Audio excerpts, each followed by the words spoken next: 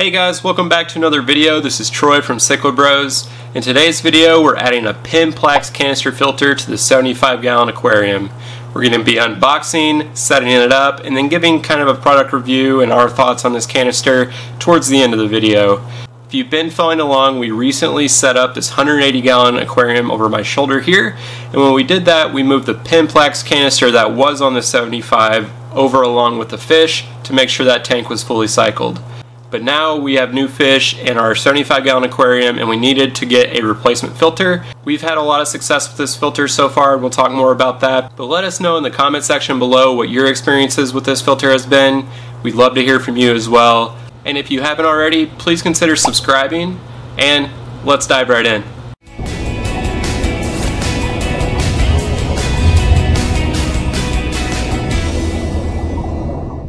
So the Penn-Plax that I've had previously, it's about three years old now. It's now running on the 180, which is looking great. So the Penn-Plax on the 180 is kind of a secondary filter as I also have an FX6 on that tank. But for a 75 gallon tank, this Penn-Plax canister filter is definitely sufficient. It has a ton of flow and that's what we're going to set up today. Okay, so the Penn-Plax doesn't come in a fancy box like your FX6 or Sunsuns, but it came in this box straight from Amazon, so let's open it up.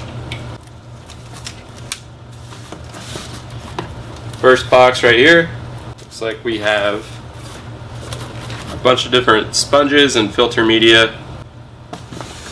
We got a big box here. Alright, well let's get this out of the box. It looks like the first thing, just right here, is the canister. Wow. Very nice. We'll get this set up shortly. And then the only other box in here looks like all the hosing and intakes, some suction cups, the attachment to the canister itself, the intake and outtake, and here's the hoses, and also some instructions. So we'll get this all set up and show you the process there. Alright, so here's everything unwrapped and out of their packaging. We have the canister itself there. We have the hosing here which we'll need to cut to fit to the tank. We've got the attachments to the intake and outtake. There's a lot of suction cups which go with the spray bar that this comes with. I typically don't like the spray bar. I kind of like this piece more as you can direct it towards the top of the water and get some more surface agitation. So I think that's what I'm going to go with again here. And then lastly we have the filter media. It comes with one dense foam and then some filter floss it has a bag of ceramic rings. It has a little glass scrubber, which is kind of cool. How neat is that? That's pretty neat. And then it has a couple bags of charcoal, which I actually don't use very often. I'm going to replace that with something else that I'll show you shortly. Alright, so we have the top tray here. And we already have some filter pads in most of these trays. One more filter pad with charcoal, more filter floss. So total of five trays, and I'll show you what I'm going to put in each of these. Okay, so with the Penn-Plax, the water will fill up in the canister, and it'll flow from the bottom up through the top and then back to the tank. So what I typically like to do is put the first tray at the bottom with your mechanical filtration. This will get a lot of the debris and waste collected at the bottom so that some of the clean water can flow up through your biological or your chemical filtration in the preceding baskets. So I'm going to start with a basket that has the most coarse mechanical filtration followed by filter floss. This is going to be the first basket that I put in here. Then I'm going to find a basket of filter floss. I'm actually going to add an extra little piece here since there's some room just to get this water as filtered as possible before it gets to the biological filtration. I'm to put this guy in here, making sure to line up the tubes, making sure it clicks in. So I'm to have one more filter floss tray, and then I have a couple other things here. So I'm going to use the ceramic rings that came with the Penn-Plax, but then I also bought the Marine Pure biofilter balls separately. And I'm pretty excited about this. I, I think it'll work really well from a biological filtration standpoint. Let's get this all set up.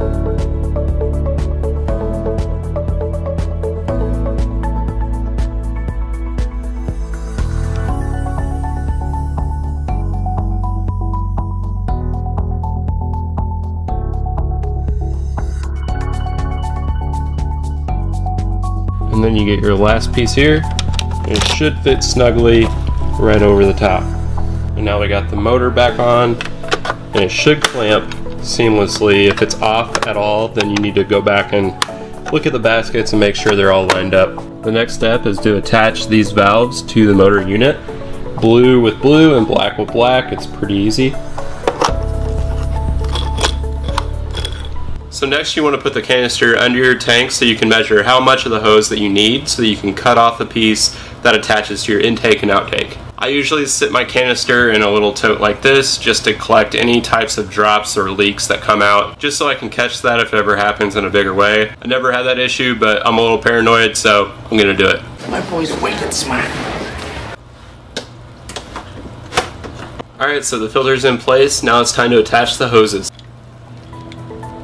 Then you have your intake here, and then for your outtake, you can either install the spray bar or this piece, which lets you direct the flow any way you need it.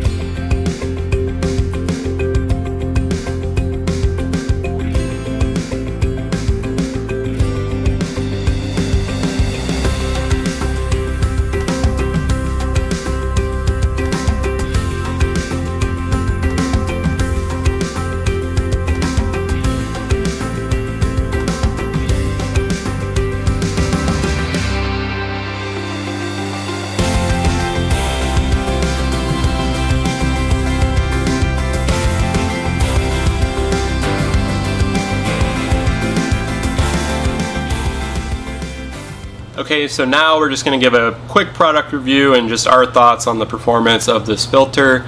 I now have two of these, and then my brother Quinn has one on a 75 gallon aquarium in his classroom. Overall, these filters have held up very well, and probably my favorite thing is that they stayed very quiet. I get super annoyed whenever I hear filters humming and buzzing, and even the AquaClear 110 on the 75 gallon tank, sometimes the, the lid rattles some, and it just drives me nuts. But once I installed the Penn-Plax canister down here and had it on both tanks, even my wife came down and said it sounded very quiet, and I just gave a little fist pump. I also really like that the media baskets hold quite a bit. There's five trays on this version, and even if you go down sizes of the Penn-Plax to maybe the 1000 or lower, uh, they still have quite a bit of space for media. Maybe not quite as big as the Sun Sun, but I do feel like the flow rate and overall longevity of these filters do make the price worth it. And then when you consider price, the Cascade 1500 here is about 150 to 170 dollars US on Amazon right now. If you look at comparable filters, maybe the Sun Sun 704B, it's around $100, so you could go a little cheaper. However, I've just had a lot of success with these filters, and I think paying that little extra just gives me the peace of mind that uh, nothing's going to fail and I have to deal with a leak, anything like that. Um, just can't say enough good things about the Penn-Plax. If you have a 75 gallon aquarium or smaller, I think it's a great filter. Or if you had a 125 gallon tank or something bigger, two of these might do just fine and you might have a lot of success with that. So that does it for our unboxing, setup, and review of this canister filter. We hope you found this information helpful. If you're looking for different canister filter options, I think this one's a pretty good one to go with. But if you've had experiences with this filter, whether it's good or bad, let us know in the comment section below. Again, we'd love to hear from you. Thanks again for watching, and we'll see you next week.